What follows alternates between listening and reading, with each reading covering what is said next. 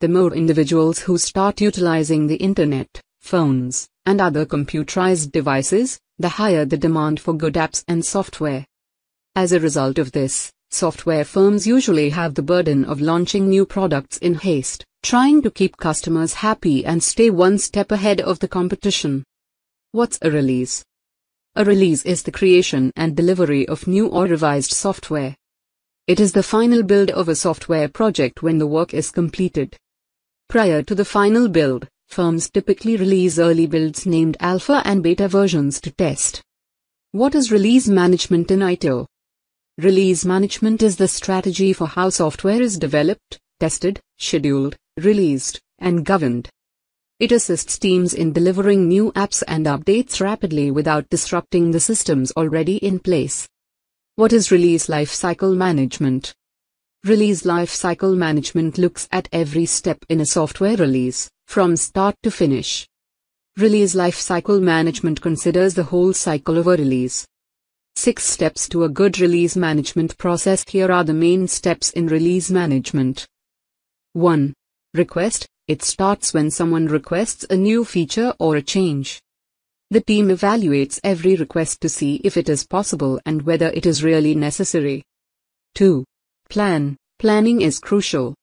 It organizes the work in a way that the team understands what has to be done, who has to do it, and when. 3.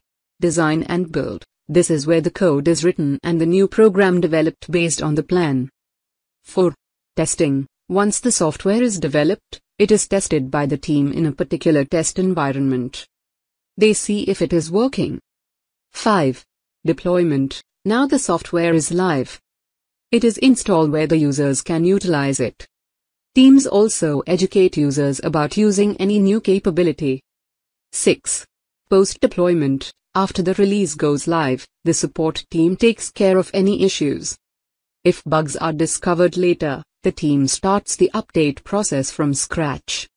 Let's touch on the most important aspects of the release management process. Release pipeline, the entire process of a product, from creation to launch.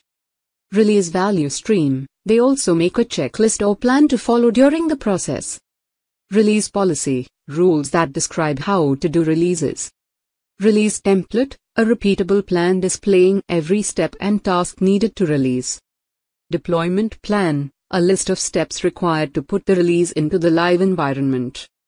Release unit, a collection of files or patches that ship together to enable a new feature. Release package, merge one or more sets of release units for one release. Big update, large updates with lots of changes that occur infrequently but affect much. Minor release, there are smaller updates that occur more often with fewer changes. Release manager, the person who organizes and manages all releases makes sure everything runs smoothly. What are the objectives and benefits of release management? Guarantees businesses experience better product releases, reduces errors and problems in the software, improves communication and teamwork. The following are three key methods through which you can improve your release management process. 1. Standardize the rules. It is very convenient to have your rules and steps the same every time. When things are routine, you can have machines do tedious, repetitive work. 2 monitor and post updates instantly in agile work. It is very crucial to track your project all the time and provide updates regularly. 3. Monitor requirements closely. Requirements traceability means tracking each business requirement along the project. You begin with finding out where the idea originated. Conclusion Service management plays a vital role to help companies grow today. With the right training by iCert Global, you can achieve fantastic job opportunities, receive high salaries, and have a strong future.